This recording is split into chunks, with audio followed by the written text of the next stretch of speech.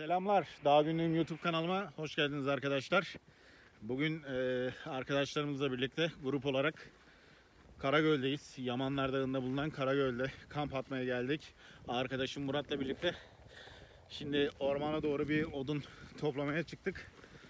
E, akşam yakacak için odun toplamamız gerekiyor. E, Videoma başlamadan önce kanalıma abone olursanız ve videolarımı beğenirseniz sevinirim arkadaşlar. Kış mevsiminin gelmesiyle de birlikte kamp videoları devam edecek. Evet arkadaşlar ormana girdik. Ee, odun topladık biraz görmüş olduğunuz gibi. Odunları yüklendik. Kamp alanına doğru gidiyoruz. Şimdilik bir yemek yapabilmek için e, ufak bir e, odun topladık. Akşama doğru ısınma amaçlı ee, daha çok odun toplayacağız. Zaten gelen arkadaşlar yanlarında da ekstra yedek odunları getirecek. Çuval çuval. Onlarla da idare edeceğiz. Ee, beklediğimizden daha da soğuk Karagöl. Ee, bu kadar soğuk olmasını beklemiyorduk zaten. Halimden de anlıyorsunuzdur. Epey bir soğuk. Gece daha da soğuk olacaktır ilerleyen saatlerde. Ona göre önlemimizi alıyoruz. Bu şekilde devam ediyoruz.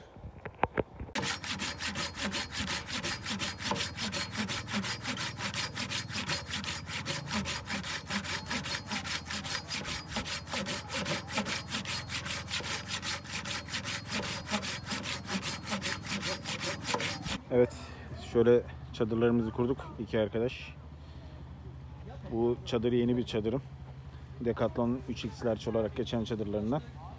Şu şekilde kurduk, bayağı bir büyük içi. Bu şekilde de kurulduk.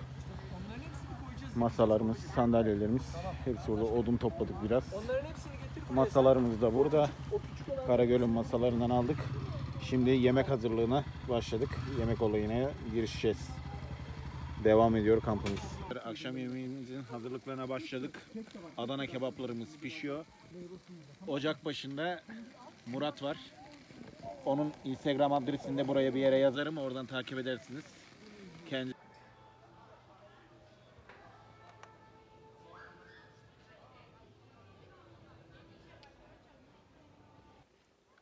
Evet arkadaşlar yeni bir günden merhaba herkese günaydın. Dün fazla video çekemedim. Bazı talihsizlikler yaşadık maalesef. Fotoğraf makinesini getirmişim. Mikrofonu getirmişim. Hafıza kartı getirmemişim. Daha sonra tripodu getirmemişim. O yüzden e, hepsi ardı ardına geldi. Çok fazla video çekemedim. Zaten e, hazırlık vesaire, yemek vesaire derken de e, video çekmeye fırsatım olmadı. Şimdi ikinci gündeyiz. Kampın ikinci günündeyiz. Ee, bugün de akşam saatlerine kadar burada olacağız. Hava kararına kadar. Daha sonra toparlanıp e, çıkacağız. Arkadaşlar da uyandı zaten şimdi. Hep birlikte bir kahvaltı hazırlayacağız. Kahvaltımızı yapacağız. Gece biraz soğuk oldu ama o kadar da çok bir soğuk yapmadı. Ee, gündüz saatlerinde biraz soğuktu. Gece için korktuydum ama korktuğum kadar olmadı soğuk. Gayet güzel. Karagöl'de şu an güzel. Kahvaltıdan sonra bir göl etrafında yürüyüş yaparız. Oradan da size görüntüler çekerim. Bu hafta böyle bir talihsizlikler yaşadık. Diğer kamplarda daha da hazırlıklı olacağız. Uzat elini. Uzat. Hiç kıpırdama.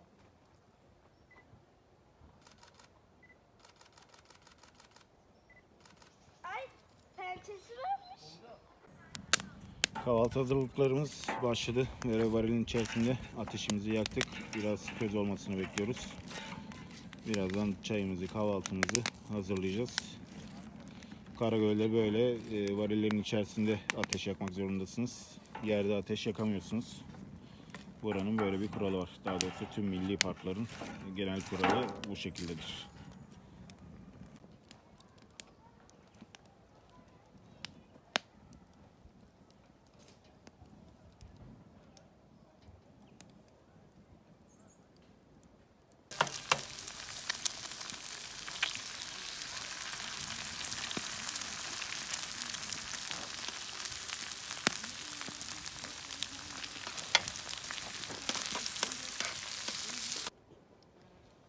Öyle kolay kaçmak var mı ya?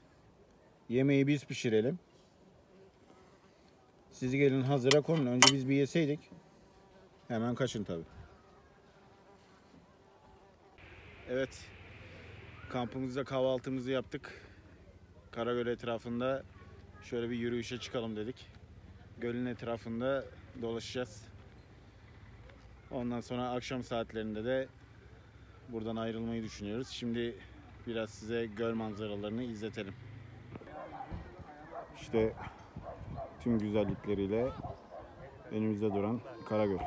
İzmir'in kış kamplarında en uğrak yeri, en uğrak adresi arkadaşlar. Ee, buranın girişi önceden 60 derece civarındaydı. Elektrik kullanmak zorunlu değildi. İsteğe bağlıydı. Şimdi giriş 85 lira olmuş. Ee, ayrıca elektrik parası da alınıyor artık. Ortak kullanım alanının paraları da alınıyor artık. Onları da yani e, kullanıyorsunuz. Ve araçlar için de artık para alınmaya başlanmış. 39 lira onun da ücreti. Eskiden daha uygundu burası ama şimdi bir güncelleme yapılmış fiyatlarda. Gölün etrafında böyle bir yürüyüş yolu var.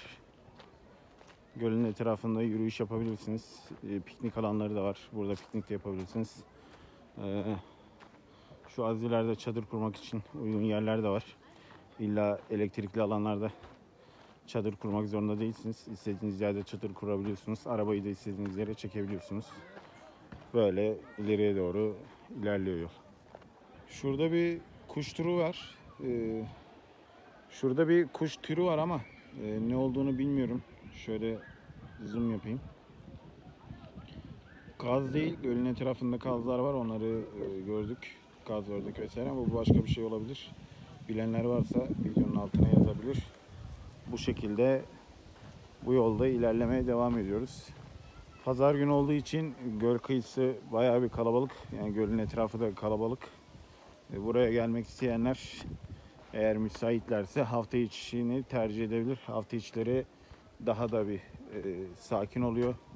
E, tam kafa dinlemek için birebir yer. Eskisine göre tabi fiyatlar artmış. Az önce bahsettiğim gibi. Eskiden daha ucuzdu. Şimdi biraz daha pahalı ve yüksek. E, fiyata göre hizmeti soracak olursanız e, çok da e, iyi bir hizmet yok. Sadece elektrik var. Ortak olan ortak alan diyorlar ama sadece elektrik var e, hizmet olarak. Lavabolar vesaire o kadar e, temiz olduğu söylenemez. Bir de market var. Marketten faydalanabilirsiniz. Orada istediğiniz ürünler var. Ayrıca yemek vesaire de e, pişirebiliyorlar. Oradan alabilirsiniz istediklerinizi. Gölün etrafı da dediğim gibi böyle geniş bir şekilde her yerinde oturabilirsiniz. Oturacak yerler var. Arılar yesin diye jambon bırakmıştık. Burada bir 2-3 tane jambon vardı. Yani yaklaşık bir 10 tane arı e, bütün jambonları bitirmiş. Hala da bitirmek için uğraşıyorlar. Onlara güzel bir ziyafet oldu. Sokmazlarsa iyi. Sadece Kamplarda pratik, yapımı kolay, e, tatlı ihtiyacınızı giderecek olan e, Doktor Örtker'in bardakta pudingi. Hemen böyle sütle kısa sürede hazır oluyor arkadaşlar. Süt miktarını iyi ayarlamanız gerekiyor. Yoksa daha böyle duru olabiliyor. Ona göre kendi zevkinize göre ayarlayabilirsiniz. Hemen pratik 2 dakikada hazır oluyor. Kamp ortamlarında güzel oluyor. Evet bir kampımızın daha sonuna gelmek üzereyiz. Ee, bir akşam yemeği yiyeceğiz gitmeden önce. Son kalan malzemelerimizi tüketeceğiz. Ondan sonra harekete geçeceğiz. Çadırlarımızı da yavaş yavaş topladık. Yemekten sonra gene toplayacağız. Kalan malzemelerimizi. Şurada topladığımız odunlar falan var. Ee, bu kampta planladığım çekimleri yapamadım maalesef. Ekipmanları evde unuttuğum için gerekli olan malzemeleri.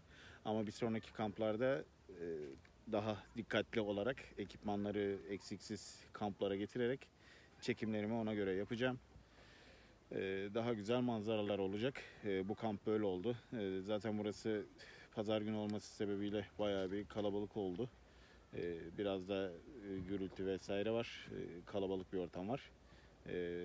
Daha sonraki çekimler tamamen doğada, e, tesis olmayan yerlerde olacak. Zaten kış ayları da geliyor artık sokağa çıkma yasakları da e, pardon sokağa çıkma yasakları değil kamp yasakları da son buluyor artık yavaş yavaş 31, 31 Ekim'de son bulacak daha rahat bir şekilde doğada e, kendimizi e, bulabileceğiz ve kamp atabileceğiz. E, daha güzel manzaralar yakalayacağız. İzmir'in birçok e, yerlerinde kampımızı atacağız. Ama burası da yine doğası harika bir yer. Özellikle kış aylarında çok güzel oluyor buralar. E, kış aylarında yine de buralara geliriz ve buraların tadına varırız. Kış aylarında sakin oluyor buralar oldukça. Kış aylarında çünkü çok fazla kişi kamp yapmıyor buralarda. Soğuk olduğu için kar da yağıyor bazen. O manzaraları da burada yakalarız. Evet kampımız devam ediyor.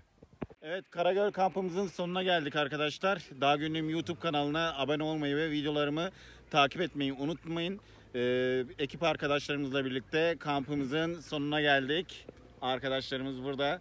Hepsi el sallıyor. İyi seyirler. Bizi Instagram- takip etmeyi unutmayın. Instagram adreslerini videonun içerisine yazacağım. Oradan takip edebilirsiniz. Los Barbunyas grubunun organize ettiği Karagöl kampımızın sonuna gelmiş bulunmaktayız. Ekip arkadaşlarım tanıtmak üzere isimlerini sayıyorum. Nazlı, Mustafa, Özge, Tolga, kaçıncı Murat? Altıncı. Altıncı Murat. Herkese iyi seyirler.